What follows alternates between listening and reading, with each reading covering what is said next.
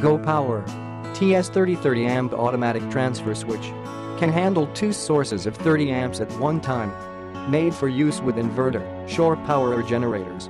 Delay switch for use with generators. Comes with knockouts for easy and professional installation. Single relay. Dimensions 9.65 liters x 7.28 watts x 4.75 H inch.